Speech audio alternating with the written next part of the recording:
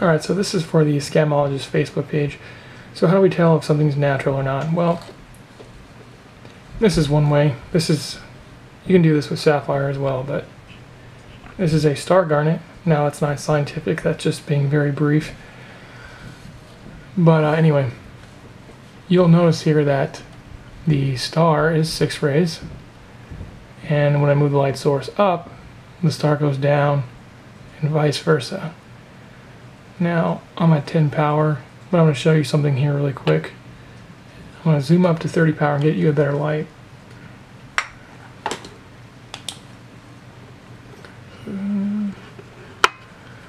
So now we're at 30 power and very cool.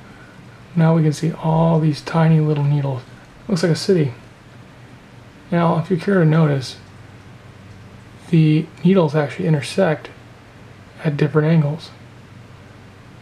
You just observe one little spot because I know there's thousands of these things.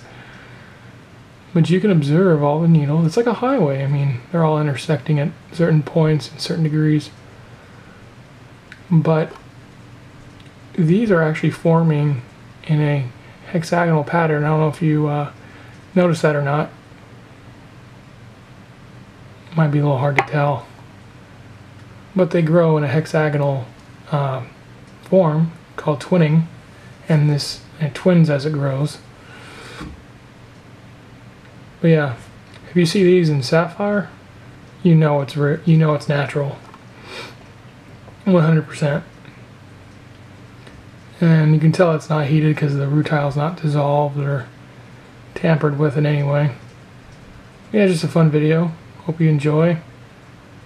And uh, I'll post, post more fun stuff later.